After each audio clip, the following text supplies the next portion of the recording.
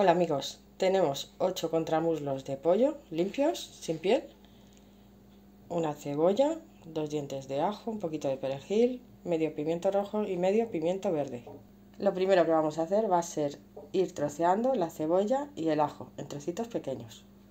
Lo primero que hacemos es sofreír el ajo en un poquito de aceite durante dos minutos. A continuación ponemos la cebolla añadimos un poquito de sal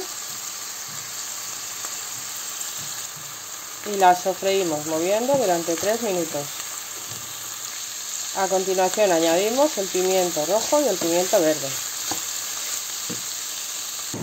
Vamos a poner un poquito de sal al pollo.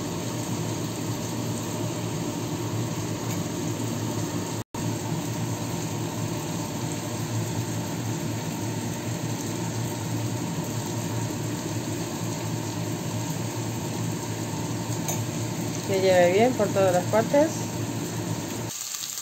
Cocinamos la verdura durante unos 7 minutos más o menos, moviendo para que no se queme.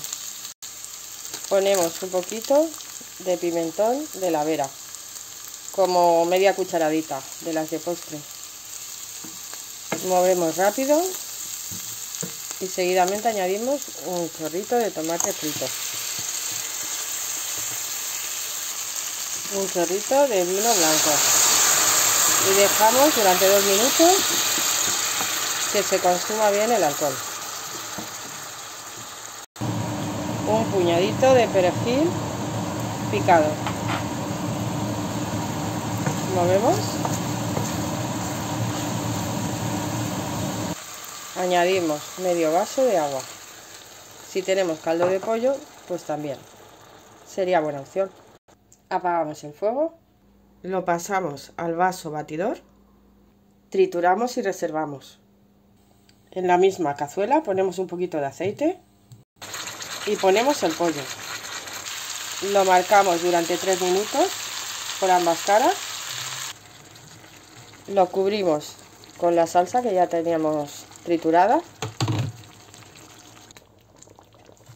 Tapamos y cocinamos a fuego medio bajo durante 30 minutos. Bueno, y ya lo tenemos. Mira qué maravilla de pollo y qué espectáculo de salsa.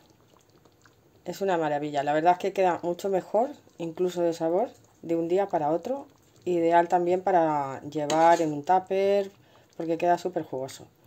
Bueno, y como siempre el ingrediente principal, el más importante y que nunca falte, que es el amor el amor, el amor.